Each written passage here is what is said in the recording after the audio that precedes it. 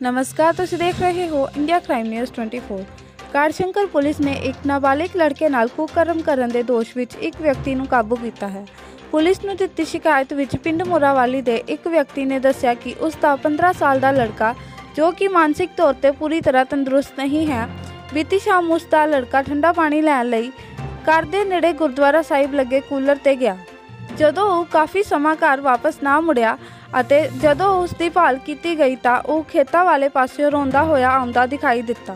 ਲੜਕੇ ਨੇ ਦੱਸਿਆ ਕਿ ਉਹਨਾਂ ਦੇ ਗਵਾਂਢ ਵਿੱਚ ਰਹਿੰਦੇ ਬੁੱਧੂ ਸ਼ਾਹ ਪੁੱਤਰ ਤਰਸੇਮ ਸਿੰਘ, ਜੋ ਕਿ ਸ਼ਰਾਬੀ ਹਾਲਤ ਵਿੱਚ ਸੀ, ਨੇ ਉਸ ਨੂੰ ਮੋਟਰ ਤੇ ਲਿਜਾ ਕੇ ਉਸ ਨਾਲ ਗਲਤ ਕੰਮ ਕੀਤਾ, ਜਿਸ ਤੇ ਪਰਿਵਾਰਕ ਮੈਂਬਰਾਂ ਨੇ ਲੜਕੇ ਨੂੰ ਸਰਕਾਰੀ ਹਸਪਤਾਲ ਲਿਜਾ ਕੇ ਉਸ ਦਾ ਮੈਡੀਕਲ ਕਰਵਾਇਆ। ਪੁਲਿਸ ਨੇ ਦੋਸ਼ੀ ਖਿਲਾਫ ਪ੍ਰੋਟੈਕਸ਼ਨ ਆਫ ਚਿਲਡਰਨ ਬਰਾਮਦ ਸੈਕਸ਼ੂਅਲ ਅਫੈਂਸ ਤਹਿਤ ਮਾਮਲਾ ਦਰਜ ਕਰਕੇ ਉਸ ਨੂੰ ਗ੍ਰਿਫਤਾਰ ਕਰ ਲਿਆ ਹੈ।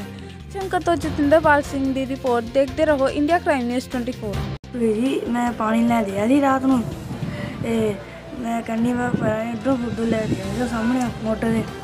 ਮੈਂ ਚੱਲ ਉਹ ਇਹ ਬੁੱਟੇ ਨਾਲ ਕਰਦਾ ਸੀ ਆ ਸਾਹਮਣੇ। ਫਿਰ ਪਤਾ ਬੋਤਲ ਇੱਕ ਸੋਡਾ ਫੜਿਆ ਸੀ ਆ ਇੱਕ ਦੌੜ ਬੋਤਲ ਫੜੀ ਸੀ।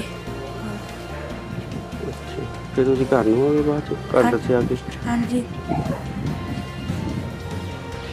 ਇਹ ਘਰੋਂ ਪਾਣੀ ਲੈਣ ਗਿਆ ਸੀ ਕਿਤਾ ਸਾਢੇ ਸਾਢੇ ਅੱਠ ਵਜੇ ਜੀ।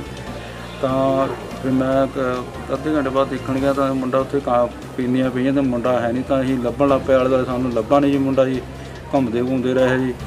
ਤਾਂ ਬਾਅਦ ਚ ਜਦੋਂ ਸਾਨੂੰ 9 9:30 ਵਜੇ ਕਰੀਬ ਜੀ ਇਧਰੋਂ ਤੁਰਿਆ ਆਵੇ ਤਾਂ ਰੋਂਦਾ ਤਾਂ ਮੇਰਾ ਭਰਾ ਜਿਹੜਾ ਅਹ, ਮੁੰਡਾ ਮੇਰਾ ਤਾਂ ਅਹ, ਚੱਕੀ ਆਵੇ ਕਹਿੰਦੇ ਕੀ ਗੱਲ ਹੋਈ? ਕਹਿੰਦਾ ਵੀ ਏਦਾਂ ਹੋਈ ਮੇਰੇ ਨਾਲ। ਤੇ ਬਾਅਦ ਚ ਘਰ ਆ ਕੇ ਪੁੱਛਿਆ ਮੈਂ ਵੀ ਫਿਰ ਸਰਪੰਚ ਕੋਲ ਲੈ ਕੇ ਤਾਂ ਪੁੱਛਿਆ ਵੀ ਇਹ ਕਹਿੰਦੇ ਵੀ ਇੱਦਾਂ ਤਾਂ ਕਹਿੰਦੇ ਵੀ ਤੁਹਾਡਾ ਵੀ ਥਾਣੇ ਰਿਪੋਰਟ ਦੇ ਦਿਓ।